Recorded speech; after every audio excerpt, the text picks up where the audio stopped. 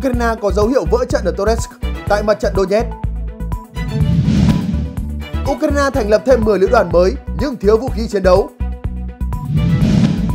Nga tiếp tục mổ xẻ nguyên lý hoạt động tên lửa tầm xa Attack-MS. Hơn 80% người dân Nga đặt niềm tin vào Tổng thống Vladimir Putin. Bị Hungary hủy gặp, Đức yêu cầu một cuộc thảo luận nghiêm túc. Xin kính chào và cảm ơn quý vị đang theo dõi chương trình trên kênh youtube Toàn cảnh 24 giờ. Vừa rồi là những nội dung chính sẽ có trong chương trình, ngay bây giờ là phần tin chi tiết. Theo tờ The Kiev Independent, Tổng tư lệnh quân đội Ukraine, ông Alexander Sisky cho biết rằng chiến tuyến Nga-Ukraine từ đầu tháng này đã lan rộng khi giao tranh dữ dội tiếp diễn ở các thành phố Pokrovsk và Toretsk, tỉnh Donetsk. Theo ông Sisky, thành phố Toretsk đã trở thành một điểm nóng giao tranh trong những tuần gần đây. Quân đội Moscow đã tăng cường các cuộc tấn công gần thành phố Toretsk từ tháng 6 sau một thời gian dài tạm lắng trong giao tranh ở khu vực này.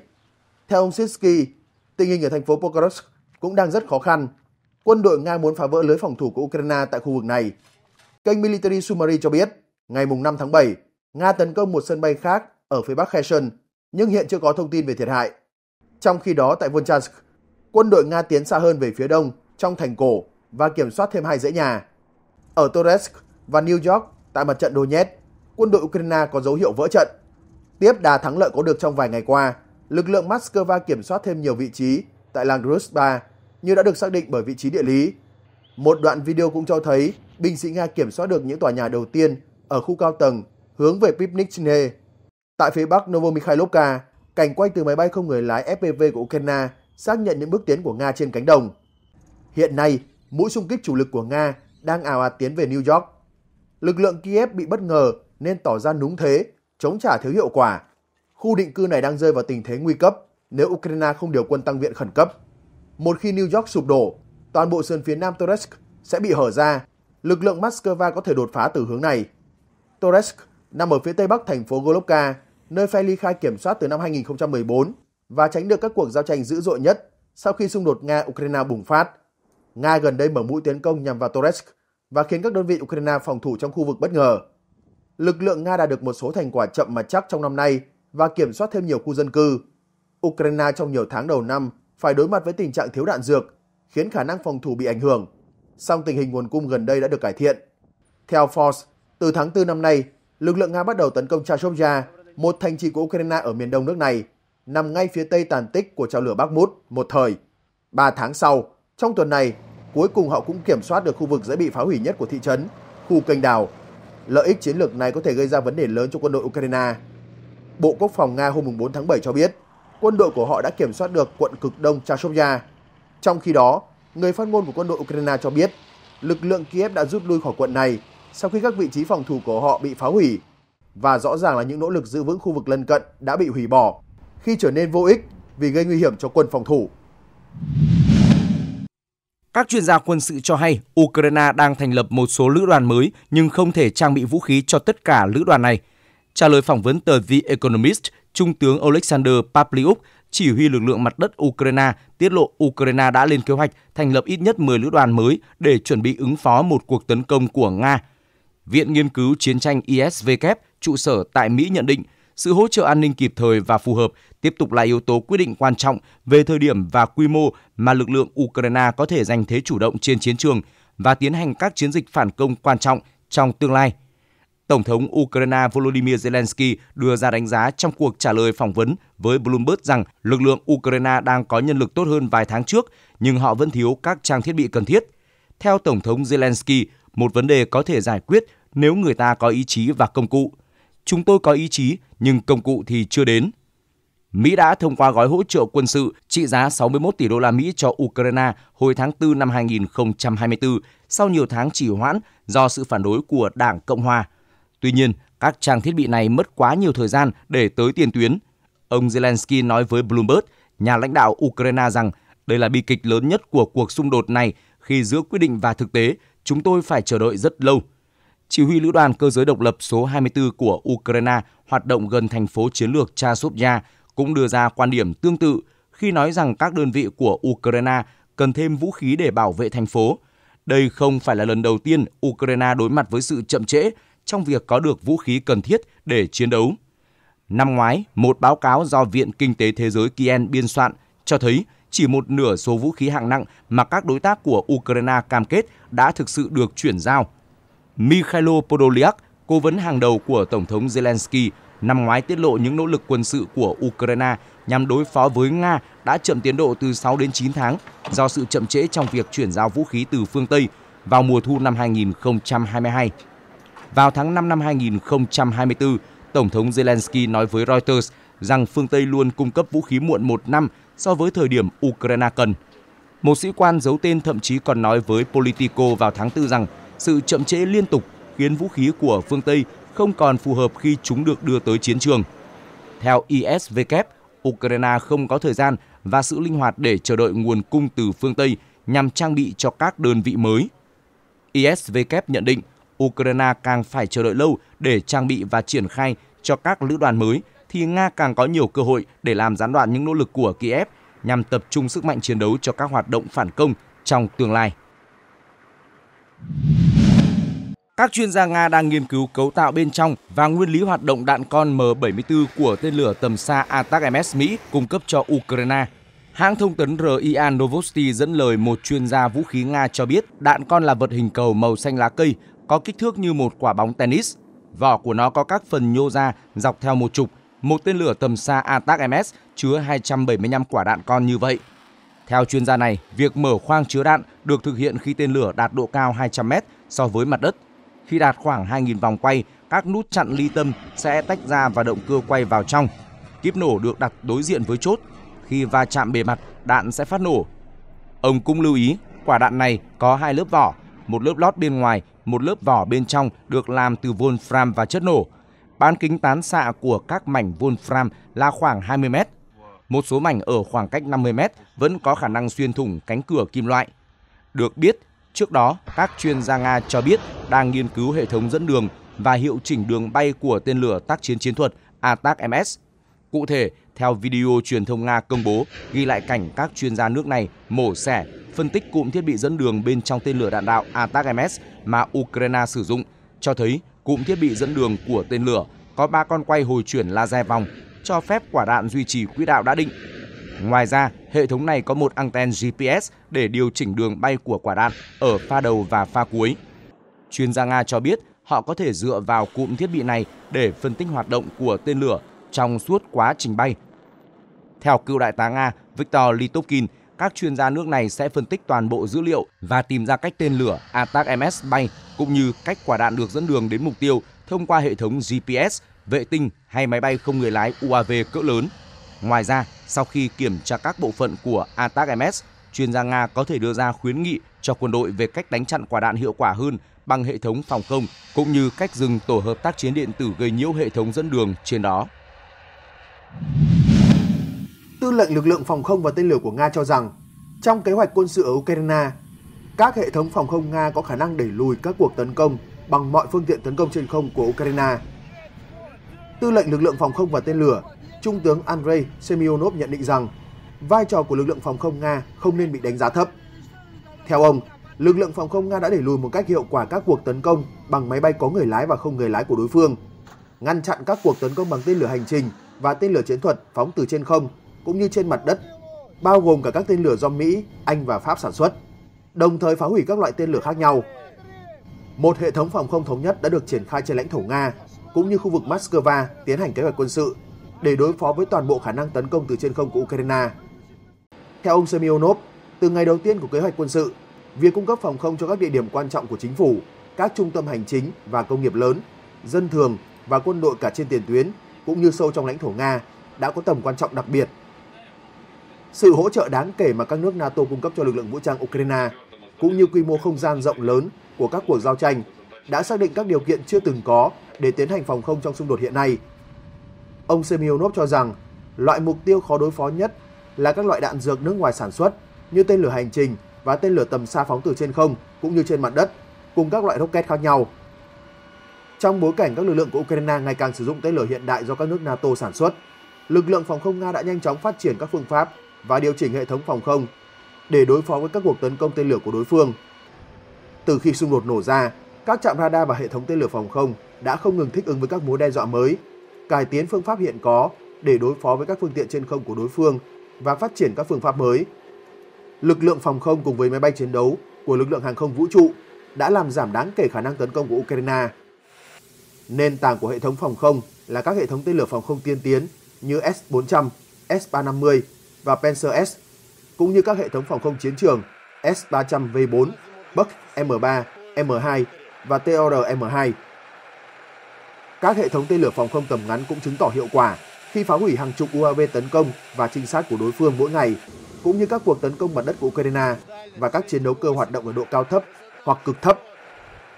Các hệ thống này đã phá hủy khoảng 1 phần 3 số chiến đấu cơ có người lái của Ukraine. Trong quá trình diễn ra xung đột ở Ukraine, theo TASS, các hệ thống phòng không của Nga có khả năng đẩy lùi các cuộc tấn công bằng mọi phương tiện trên không của đối phương. Điều đó trái ngược với hệ thống phòng không Patriot khi không chỉ không thể bảo vệ các địa điểm được chỉ định mà còn không thể tự vệ.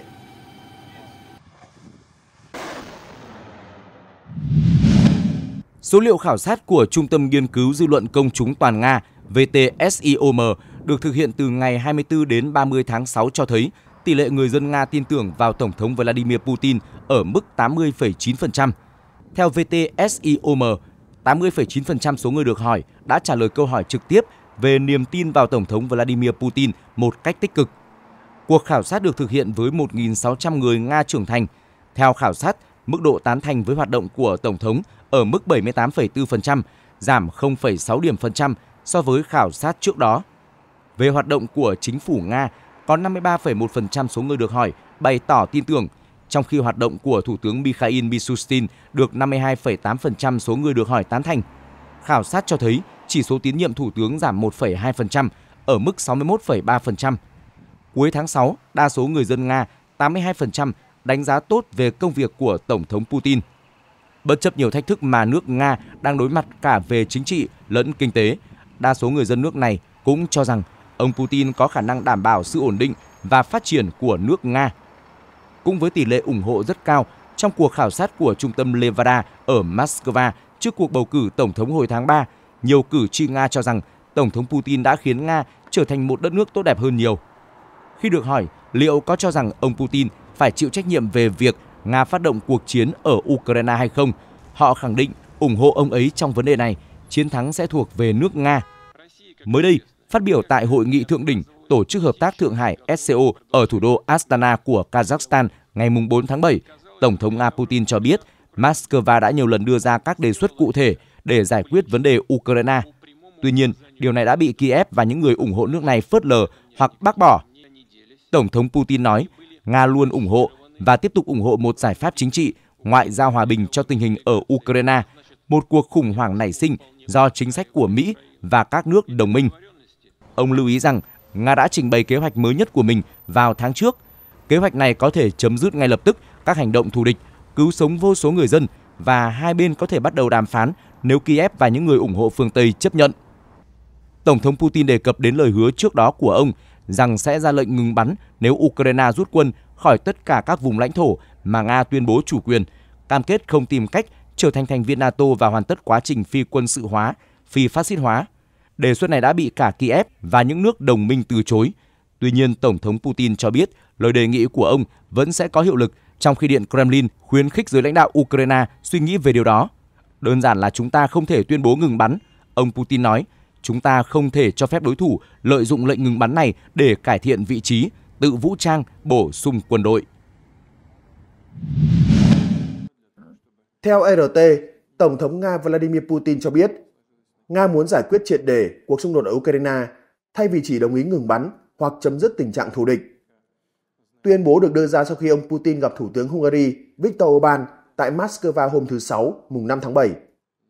Ông Orbán tới thủ đô của Nga để thảo luận về cách tìm giải pháp hòa bình và ngoại giao cho cuộc xung đột.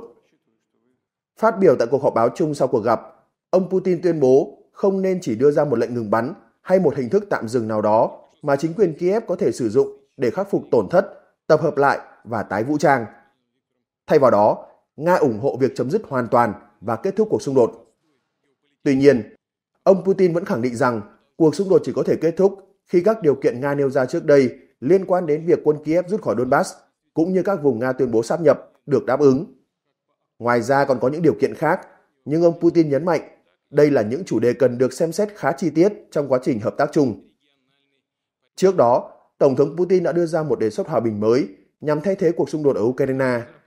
Đề xuất này dự kiến công nhận bán đảo Crimea, Cộng hòa Nhân dân Donetsk và Lugansk tự xưng, cũng như các khu vực Kherson và Zaporizhia là các khu vực của Nga, duy trì tình trạng không liên kết và phi hạt nhân của Ukraine, phi quân sự hóa nước này cũng như dỡ bỏ các lệnh trừng phạt đối với Nga. Ông Putin cũng kêu gọi Ukraine duy trì tình trạng trung lập, không gia nhập NATO. Tuy nhiên, Ukraine đã bác bỏ sáng kiến này. Tổng thống Ukraine Volodymyr Zelensky mô tả đề xuất của Moscow là tối hậu thư, trong khi cố vấn của ông Zelensky, Mikhail Podolyak, nói rằng các sáng kiến mới của Nga không có đề xuất hòa bình thực sự. Ukraine cho đến nay vẫn coi công thức hòa bình 10 điểm do Tổng thống Zelensky đưa ra là nền tảng cho mọi cuộc hòa đàm. Trong đó có việc Nga phải rút quân vô điều kiện khỏi lãnh thổ Ukraine, bồi thường thiệt hại. Moscow coi những yêu cầu này là không thực tế.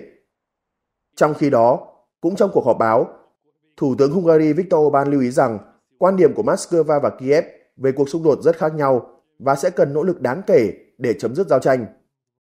Việc ông đến gặp các nhà lãnh đạo Nga và Ukraine là bước đầu tiên để khôi phục đối thoại.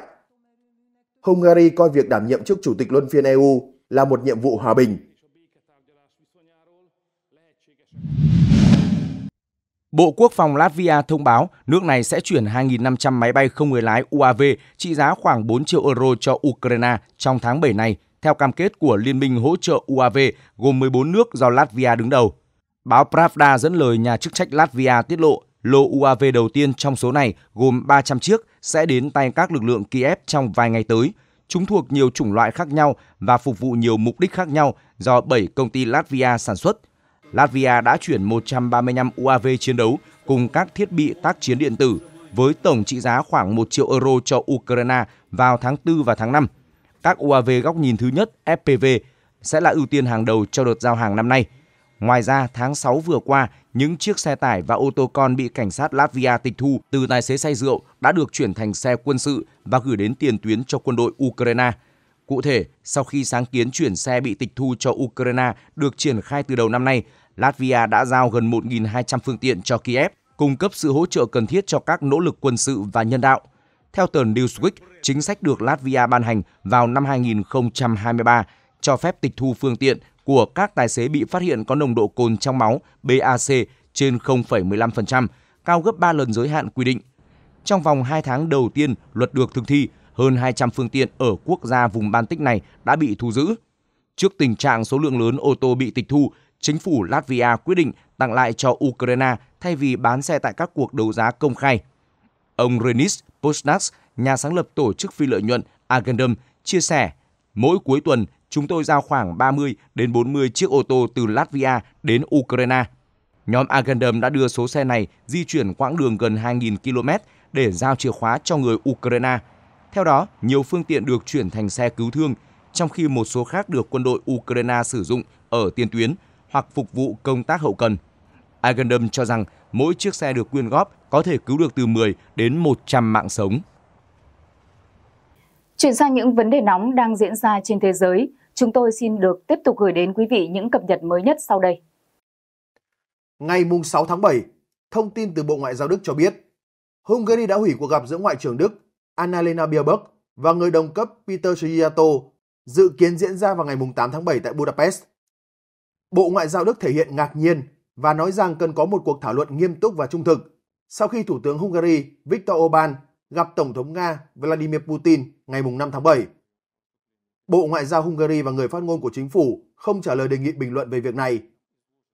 Cuộc gặp giữa Thủ tướng Orbán với Tổng thống Putin là cuộc gặp đầu tiên giữa một nhà lãnh đạo Liên minh châu Âu, EU, với lãnh đạo Nga tại Moscow sau khi Nga mở kế hoạch quân sự ở Ukraine.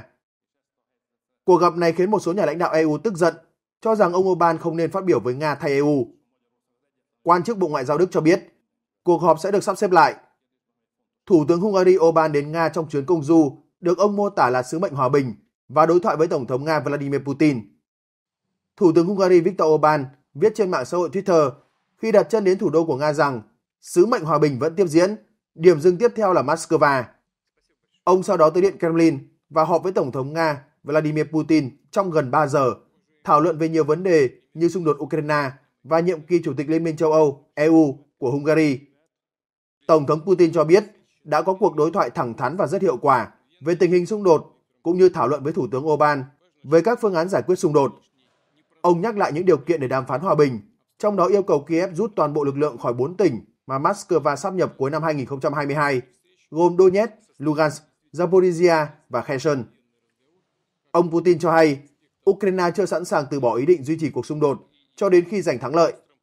Họ không muốn chấm dứt hành động quân sự bởi điều đó đồng nghĩa với chấm dứt tình trạng thiết quân luật và phải tổ chức bầu cử. Cơ hội chiến thắng trong bầu cử của giới lãnh đạo Ukraine, những người đã đánh mất tính hợp pháp và uy tín là gần như con số 0. Thủ tướng Orbán nói rằng quan điểm giữa Nga và Ukraine còn quá khác biệt và cần nhiều bước để chấm dứt xung đột. Trước đó, ông Orbán có chuyến thăm không báo trước đến Ukraine để đề xuất Tổng thống Ukraine Volodymyr Zelensky cân nhắc ngừng bắn ngay lập tức. Ông Orbán nói số lượng quốc gia có thể đối thoại với cả hai bên trong cuộc xung đột đang giảm dần. Hungary dần trở thành nước duy nhất ở châu Âu có thể nói chuyện với tất cả các bên. Tổng thống Thổ Nhĩ Kỳ Recep Tayyip Erdogan cho biết, một số nước phương Tây đang quyết tâm biến cuộc xung đột ở Ukraine thành chiến tranh thế giới toàn diện. Tổng thống Thổ Nhĩ Kỳ Recep Tayyip Erdogan phát biểu với các phóng viên khi trở về từ hội nghị thượng đỉnh Tổ chức Hợp tác Thượng Hải SCO tại Astana, Kazakhstan, rằng thật không may có những quốc gia và thành phần ở phương Tây ủng hộ một cách tiếp cận mở đường cho Thế chiến thứ ba. Tổng thống Nga Vladimir Putin gần đây cũng đưa ra một số đề xuất nhằm chấm dứt tình trạng đối nghịch ở Ukraine, khẳng định Moscow luôn sẵn sàng đối thoại. Tuy nhiên, những đề xuất này bị Ukraine và những người ủng hộ phương Tây bác bỏ vì cho rằng không thực tế và không chân thành. Ông Recep Tayyip Erdogan đổ lỗi cho nhà sản xuất vũ khí đang tiếp tay cho nhiều nước phương Tây tiếp tục chuyển viện trợ quân sự đến Ukraine. Lãnh đạo Thổ Nhĩ Kỳ cũng nhấn mạnh thêm, Nga đã thúc đẩy đối thoại và giải quyết hòa bình cho xung đột Ukraine. Ankara đang theo dõi sát sao tình hình xung đột, hy vọng Kiev và Moscow sớm ký kết thỏa thuận hòa bình. Ông Erdogan nói rằng ông tin Thổ Nhĩ Kỳ có thể giúp chấm dứt xung đột Nga-Ukraine. Mặc dù vậy, Điện Kremlin cho rằng ông Erdogan không thể đóng vai trò trung gian hòa giải trong cuộc xung đột đã kéo dài 28 tháng này. Hai nhà lãnh đạo Nga-Thổ Nhĩ Kỳ đã gặp nhau tại Astana hôm 3 tháng 7 bên lề hội nghị SCO. Mặc dù không phải là thành viên của tổ chức, nhưng Thổ Nhĩ Kỳ vẫn tham dự với tư cách là đối tác đối thoại. Thổ Nhĩ Kỳ từng đóng vai trò trung gian đàm phán ở giai đoạn đầu của cuộc xung đột Nga-Ukraine.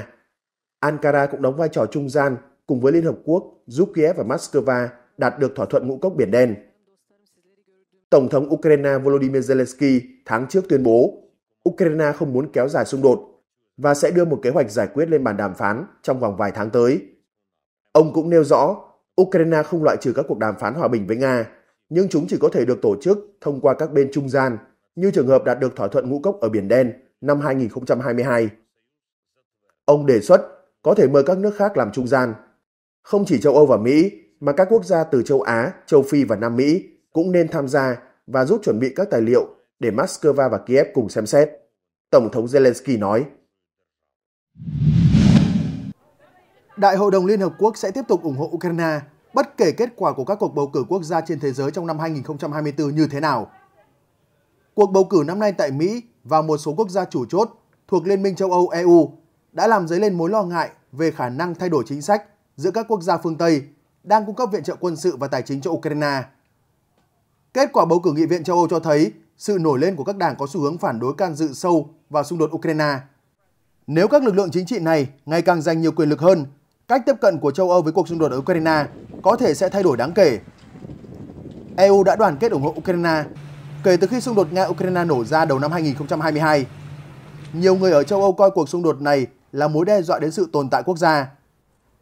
EU đã cung cấp hàng tỷ euro viện trợ tài chính và quân sự cho Ukraine và đưa nước này vào con đường trở thành thành viên EU, đồng thời áp đặt hết đợt trừng phạt này đến đợt trừng phạt khác đối với các quan chức, doanh nghiệp và các ngành kinh tế của Nga. Không có mối đe dọa sắp xảy ra đối với việc ủng hộ Ukraine, nhưng kết quả bầu cử có thể làm phức tạp thêm các cuộc thảo luận với Ukraine. Tuy nhiên, theo AP, ngày 4 tháng 7, trong chuyến thăm đầu tiên tới Ukraine, Chủ tịch Đại hội đồng Liên Hợp Quốc Denis Francis đã khẳng định lập trường đó, tức sự ủng hộ dành cho Kiev, không thể thay đổi. Phát biểu tại Kiev vào cuối chuyến thăm kéo dài 2 ngày, ông Denis Francis kêu gọi Nga rút ngay lập tức tất cả các lực lượng quân sự khỏi Ukraine Tuyên bố này phù hợp với một nghị quyết của Đại hội đồng Liên Hợp Quốc đã được thông qua ngay sau khi xung đột bùng phát hồi tháng 2 năm 2022. Ông Denis Francis cũng đã gặp các quan chức Ukraine và cả Tổng thống Volodymyr Zelensky để thảo luận về hòa bình và an ninh quốc tế. Người đứng đầu Đại hội đồng Liên Hợp Quốc ủng hộ kế hoạch hòa bình Ukraine đã được thảo luận tại một sự kiện quốc tế gần đây ở Thụy Sĩ. Hồi đầu năm, Đại hội đồng Liên Hợp Quốc đã nhóm họp phiên đặc biệt để thảo luận về tình hình xung đột Nga-Ukraine trong bối cảnh cuộc xung đột này bước sang năm thứ ba. Phát biểu tại cuộc họp có sự tham dự của đại diện 193 thành viên Liên Hợp Quốc, Chủ tịch Đại hội đồng Liên Hợp Quốc dennis Francis thời điểm đó đã bày tỏ quan ngại trước những thiệt hại và sự tàn phá ở Ukraine sau 2 năm xung đột. Giao tranh đã khiến hàng nghìn người thương vong, hàng triệu người phải rời bỏ nhà cửa đi lánh nạn và rất nhiều cơ sở hạ tầng như trường học, bệnh viện bị hư hại. Ông Francis nhận định cuộc xung đột Nga-Ukraine đang gây ra tác động trên phạm vi toàn cầu, ảnh hưởng nghiêm trọng tới an ninh lương thực, giá năng lượng, đồng thời trở thành yếu tố quan trọng góp phần tái định hình bản đồ địa chính trị và địa kinh tế thế giới.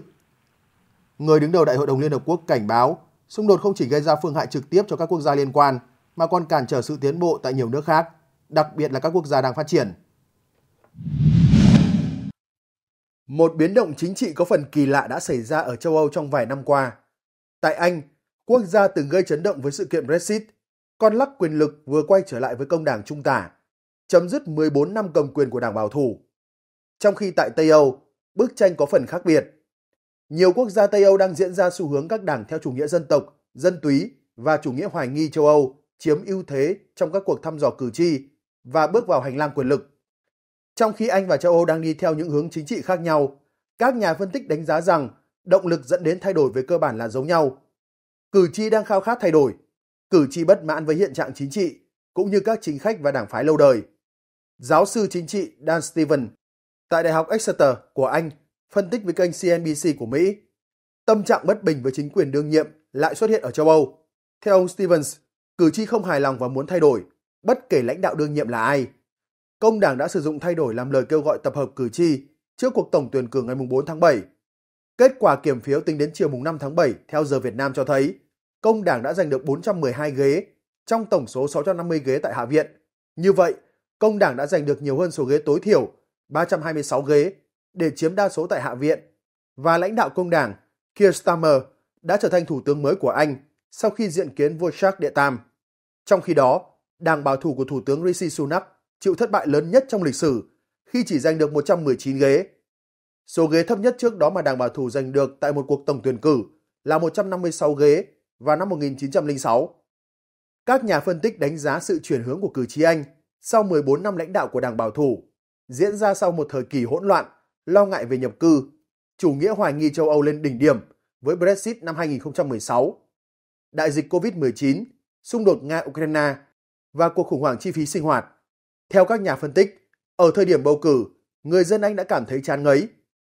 Cử tri Anh không đơn độc trong việc tìm kiếm thay đổi cục diện chính trị. Diễn biến tương tự được ghi nhận ở phần lớn Tây và Đông Âu trong những năm gần đây, khi các đảng dân túy và chủ nghĩa dân tộc cực hữu đang trỗi dậy. Các đảng cực hữu như Đảng Anh em Italia, Đảng Sự lựa chọn vì nước Đức, AFD hay Tập hợp Quốc gia RN ở Pháp đã nổi lên trong các cuộc thăm dò dư luận hoặc giành chiến thắng bầu cử. Những đảng như vậy thường đóng vai phe phản kháng, có quan điểm chống nhập cư hoặc hoài nghi châu Âu.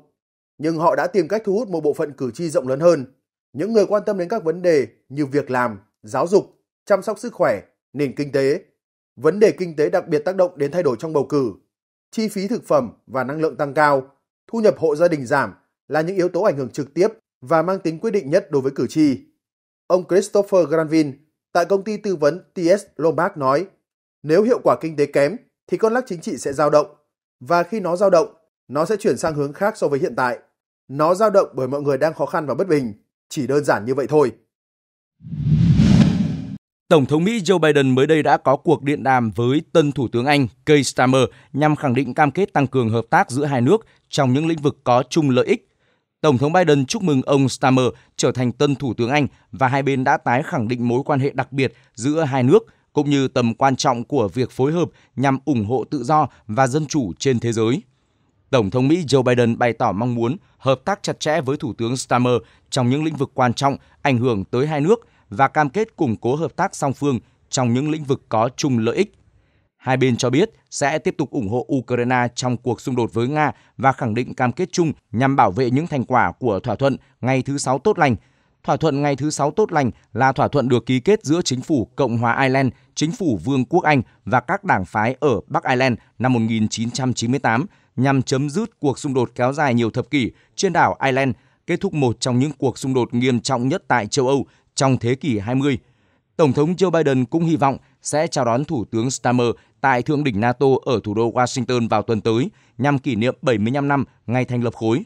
Trong khi đó, Tổng thống Ukraine Volodymyr Zelensky cảm ơn Thủ tướng Starmer vì đã tái khẳng định cam kết hỗ trợ Kiev, nói thêm rằng ông đã chúc mừng chiến thắng của lãnh đạo Anh trong cuộc tổng tuyển cử hôm 4 tháng 7. Ông Zelensky cho hay, chúng tôi đã phối hợp về các quan điểm trước thềm hội nghị thượng đỉnh NATO ở Washington và các sự kiện quốc tế khác, cũng như thảo luận về những biện pháp nhằm tăng cường quan hệ đối tác song phương. Tổng thư ký NATO Jens Stoltenberg cho biết, Liên minh quân sự do Mỹ dẫn đầu dự kiến thông qua một gói hỗ trợ lớn cho Ukraine trong hội nghị thượng đỉnh vào tuần tới. Anh là một trong những nước ủng hộ Ukraine mạnh mẽ nhất sau khi xung đột tại nước này bùng phát cuối tháng 2 năm 2022. London đã chuyển giao cho Kiev nhiều khí tài hiện đại, nổi bật là tên lửa hành trình Storm Shadow và xe tăng chiến đấu chủ lực Challenger 2. Cũng trong cuộc điện đàm, lãnh đạo Anh và Mỹ đã thảo luận về các cam kết chung liên quan tới mối quan hệ đặc biệt giữa hai nước, cũng như về những tham vọng chung nhằm thúc đẩy tăng trưởng kinh tế. Theo văn phòng Thủ tướng Anh cho biết, ông Starmer mong muốn được hợp tác trên toàn bộ khía cạnh của mối quan hệ, bao gồm quan hệ đối tác AUKUS và đảm bảo khu vực Ấn Độ Dương, Thái Bình Dương tự do và rộng mở. AUKUS là liên minh quốc phòng giữa Mỹ, anh và Australia thành lập vào năm 2021. Nhà Trắng từng ám chỉ khối này có thể được mở rộng trong tương lai để kết nối với các đồng minh ở châu Âu và châu Á. Cựu Tổng thống Mỹ Donald Trump ngày 4 tháng 7 đã thách thức đối thủ và là Tổng thống đương nhiệm Joe Biden tranh luận mà không bị hạn chế. Lời thách thức được đưa ra một tuần sau cuộc tranh luận trực tiếp đầu tiên giữa hai ứng cử viên hàng đầu của Đảng Dân Chủ và Cộng Hòa, với lợi thế được cho là dành cho cựu Tổng thống Donald Trump. Ông Donald Trump đăng trên mạng xã hội Truth Social ngày 4 tháng 7 rằng hãy thực hiện một cuộc tranh luận khác, nhưng lần này không áp quy tắc hạn chế. Đó sẽ là một cuộc tranh luận toàn diện, chỉ có hai chúng ta trên sân khấu, nói về tương lai của đất nước. Cựu Tổng thống Mỹ nói nếu cuộc tranh luận kiểu này được tổ chức, ông sẽ chất vấn ông chủ Nhà Trắng về các vấn đề nhập cư, lạm phát, xe điện, vận động viên điền kinh chuyển giới cùng nhiều vấn đề khác. Ông Trump cho rằng cuộc tranh luận này sẽ trả lời câu hỏi về năng lực của ông Biden và cũng là bài kiểm tra với bản thân ông. Ông Trump đề xuất nhấn mạnh có thể tổ chức tranh luận bất cứ khi nào, bất cứ nơi nào rằng sẽ là một buổi tối tuyệt vời, chỉ có hai chúng ta đối chọi nhau trong cuộc tranh luận thú vị kiểu cổ điển. Cuộc tranh luận thứ năm tuần trước là một trong hai cuộc tranh luận được lên kế hoạch giữa ông Biden và ông Trump. Cuộc thứ hai sẽ diễn ra vào tháng 9 do hãng tin ABC News tổ chức. Cựu Tổng thống Mỹ cho rằng lượt xem cuộc tranh luận ông đề xuất sẽ phá mọi kỷ lục.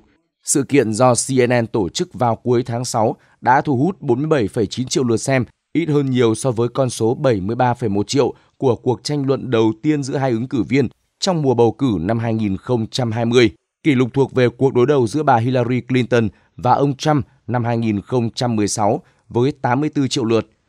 Tổng thống Biden đã có màn thể hiện không tốt trước đối thủ và chính vì vậy đã có những tiếng nói ngay trong nội bộ Đảng Dân Chủ đề nghị ông Biden rút khỏi cuộc đua vào Nhà Trắng. Tuy nhiên, Nhà Trắng và cá nhân Tổng thống Biden đã khẳng định sẽ tiếp tục tranh cử với quyết tâm đánh bại ông Trump trong cuộc bầu cử vào tháng 11 tới. Chiến dịch tranh cử của ông Biden ngày 5 tháng 7 thông báo sẽ thực hiện một chương trình quảng bá với số tiền lên tới 50 triệu đô la ở các bang chiến địa trong nỗ lực nhằm trấn an cử tri sau màn tranh luận không tốt của Tổng thống Biden.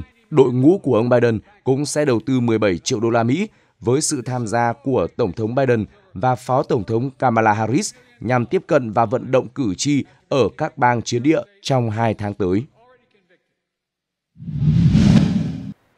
Chỉ vài ngày sau khi bắt đầu đảm nhận vị trí chủ tịch luân phiên của Liên minh châu Âu EU, Thủ tướng Hungary Viktor Orbán đã khiến Bruxelles khó chịu vì chuyến thăm bất ngờ đến Moscow gặp Tổng thống Nga Vladimir Putin. Sau khi có thông tin ông Orbán thăm Moscow, Chủ tịch Hội đồng châu Âu Charles Michael lên tiếng nhắc nhở nhà lãnh đạo Hungary rằng ông không có thẩm quyền để thay mặt EU đàm phán về vấn đề nào trong nhiệm kỳ chủ tịch luân phiên. Thủ tướng Ba Lan Donald Tusk viết trên Twitter, những tin đồn về chuyến thăm Moscow không thể đúng chứ, Thủ tướng Orbán, hay là đúng?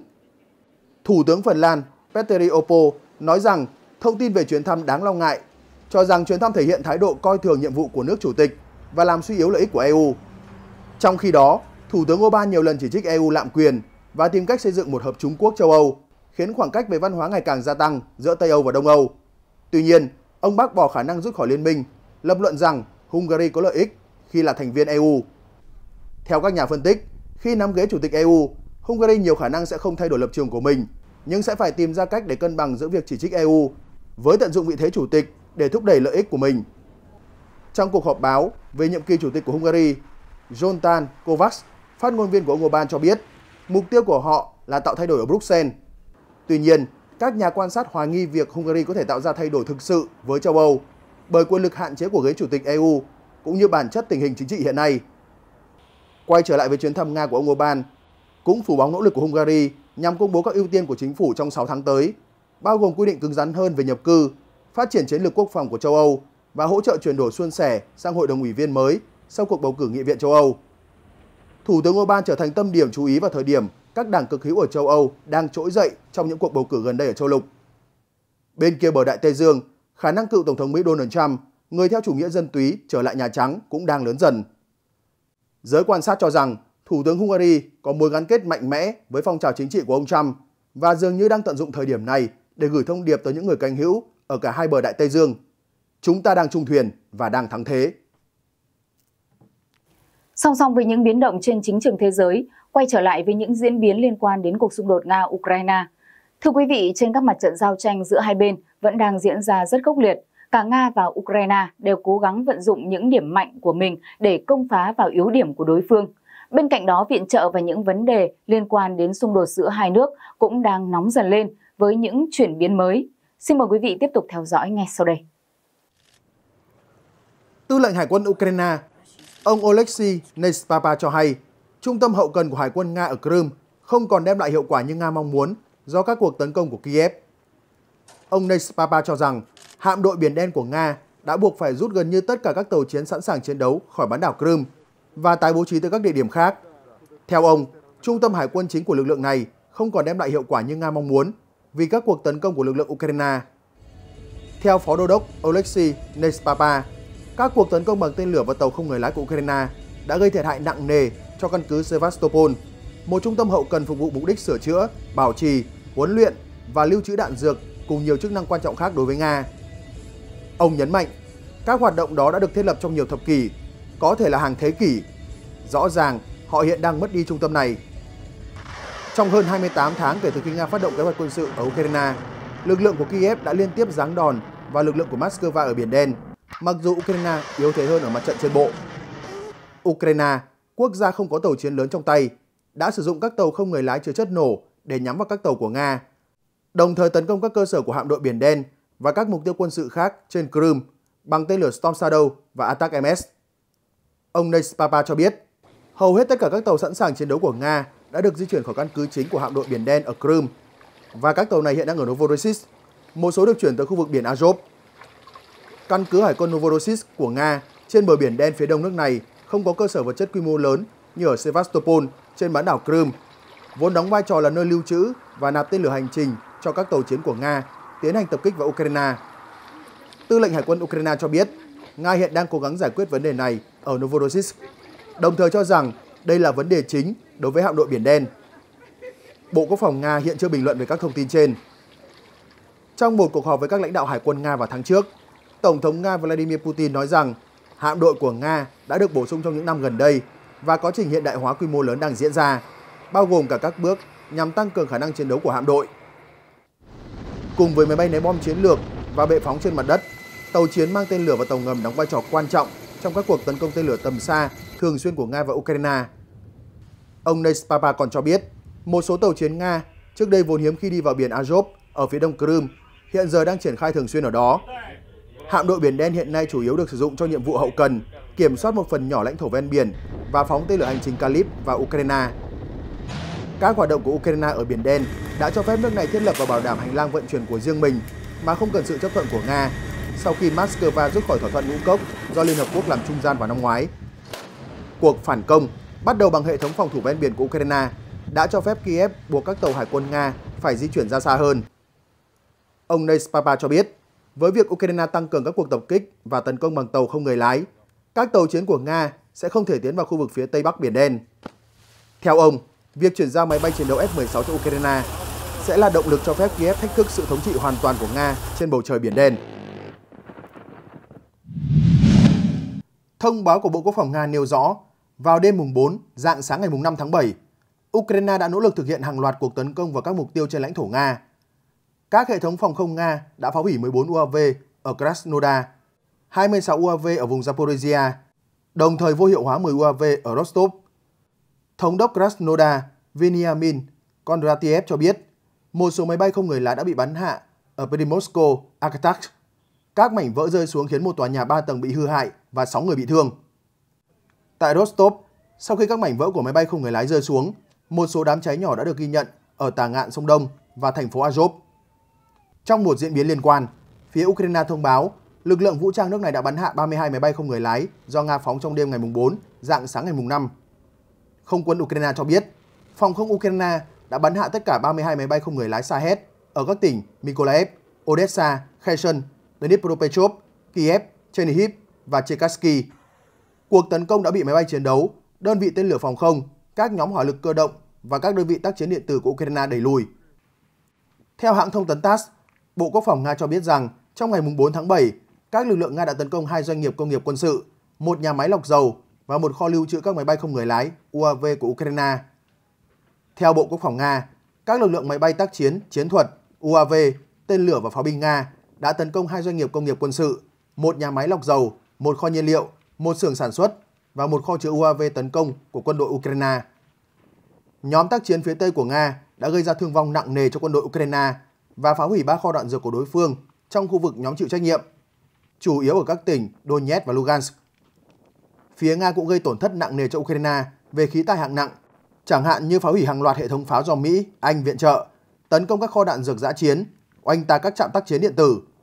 Ngoài ra, Bộ Quốc phòng Nga cho biết, trong ngày qua, lực lượng phòng không Nga đã bắn hạ 37 UAV, một quả bom dẫn đường Hammer do Pháp sản xuất, một tên lửa chống radar HAM và 14 rocket của hệ thống pháo phản lực cơ động cao HIMARS do Mỹ sản xuất. Liên quan đến diễn biến xung đột ở Trung Đông, chúng tôi xin gửi đến quý vị những cập nhật mới nhất tiếp theo ngay sau đây. Ngày 4 tháng 7, nhóm Hezbollah ở Liban cho biết đã phóng hơn 200 quả tên lửa mang đầu đạn hạng nặng vào một số căn cứ quân sự ở miền Bắc Israel và cao nguyên Golan để trả đũa vụ tấn công, khiến một trong những chỉ huy cấp cao của nhóm này thiệt mạng. Đây là một trong những vụ tấn công lớn nhất của Hezbollah trong cuộc xung đột kéo dài hàng tháng qua dọc biên giới Liban-Israel. Quân đội Israel xác nhận nhiều tên lửa và mục tiêu trên không đáng ngờ đã xâm nhập vào lãnh thổ của họ từ Liban, song đa số đã bị chặn, không có báo cáo về thương vong. Ngay sau đó, quân đội Israel đã tấn công trả đũa vào các mục tiêu ở Liban. Hezbollah đã tuyên bố các cuộc tấn công vào Israel là để ủng hộ Hamas và cho biết họ sẵn sàng dừng các cuộc tấn công nếu đạt được lệnh ngừng bắn ở Gaza. Tuy nhiên, các cuộc tấn công xuyên biên giới giữa Israel và Hezbollah ở Liban có xu hướng tăng trong những tuần gần đây, làm dấy lên lo ngại nguy cơ bùng nổ xung đột tổng lực ở khu vực Trung Đông. Israel, Hezbollah đều tuyên bố sẵn sàng cho một kịch bản như vậy.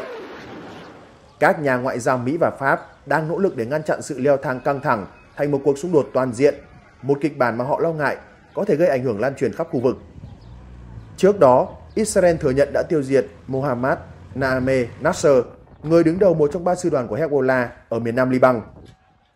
Bộ trưởng Quốc phòng Israel Yoav Galan cho biết, các lực lượng Israel đang tấn công Hezbollah rất mạnh mỗi ngày và sẵn sàng thực hiện bất kỳ hành động cần thiết nào chống lại nhóm này, mặc dù ưu tiên hàng đầu là đạt được một thỏa thuận.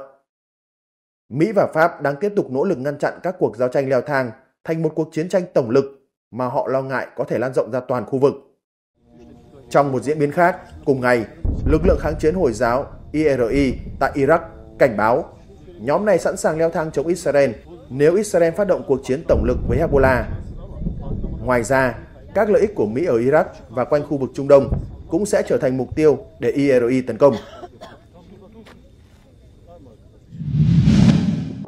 Theo truyền thông Israel, Thủ tướng nước này Benjamin Netanyahu chiều 4 tháng 7 đã chính thức quyết định phái cử giám đốc cơ quan tình báo Mossad, ông David Banea tới Doha, Qatar nhằm nối lại các cuộc đàm phán gián tiếp với lực lượng Hamas về thỏa thuận ngừng bắn và trao đổi con tin mới. Dự kiến trong ngày 5 tháng 7, Giám đốc Mossad có cuộc thảo luận với Thủ tướng Qatar Mohamed Al-Thani để làm rõ về đề xuất ngừng bắn và trao đổi con tin mới mà lực lượng Hamas chuyển tới các nhà trung gian quốc tế tối mùng 3 tháng 7. Ngay sau quyết định cử đại diện trở lại tiến trình đàm phán, nội các an ninh Israel tối qua đã tiến hành cuộc họp đặc biệt để thảo luận lập trường của nước này đối với tiến trình đàm phán gián tiếp do Mỹ, Ai Cập và Qatar làm trung gian. Tại cuộc họp, Bộ trưởng Quốc phòng Israel Yoav Galan cùng một số quan chức an ninh bày tỏ sự lạc quan về cơ hội đạt được thỏa thuận trao đổi con tin mới theo bản đề xuất cập nhật vừa được Hamas chuyển tới Ai Cập và Qatar. Trước đó, một nguồn tin Israel gần gũi với các cuộc đàm phán cũng đánh giá đề xuất mới của Hamas mang nội dung đột phá có thể dẫn tới thỏa thuận. Sau cuộc họp, Thủ tướng Israel Netanyahu đã có cuộc điện đàm với Tổng thống Mỹ Joe Biden, trao đổi về các nội dung liên quan đến cuộc xung đột tại giải Gaza, cũng như tình hình dọc biên giới Israel-Liban. Theo văn phòng Thủ tướng Israel, tại cuộc điện đàm, Thủ tướng Netanyahu tiếp tục nhắc lại nguyên tắc nhất quán của Israel trong cuộc chiến Gaza là chỉ chấm dứt chiến sự sau khi đạt được toàn bộ các mục tiêu đề ra, bao gồm việc đánh bại hoàn toàn Hamas và giải cứu tất cả con tin. Trong một diễn biến đáng chú ý khác, truyền thông Israel cho biết tối qua, hàng nghìn người đã tập trung biểu tình bên ngoài tư dinh của Thủ tướng Netanyahu ở Jerusalem để kêu gọi chính phủ từ chức, tiến hành bầu cử sớm và thúc đẩy thỏa thuận trao đổi con tin. Trước khi tập trung về gần tư dinh Thủ tướng Netanyahu, đoàn người biểu tình đã tuần hành xuyên qua trung tâm thành phố Jerusalem, hô vang các khẩu hiệu hối thúc chính phủ tiến tới thỏa thuận trao đổi con tin với Hamas. Thưa quý vị, nội dung vừa rồi đã khép lại chương trình trên kênh Toàn cảnh 24 giờ ngày hôm nay. Cảm ơn quý vị đã quan tâm theo dõi. Xin kính chào và hẹn gặp lại.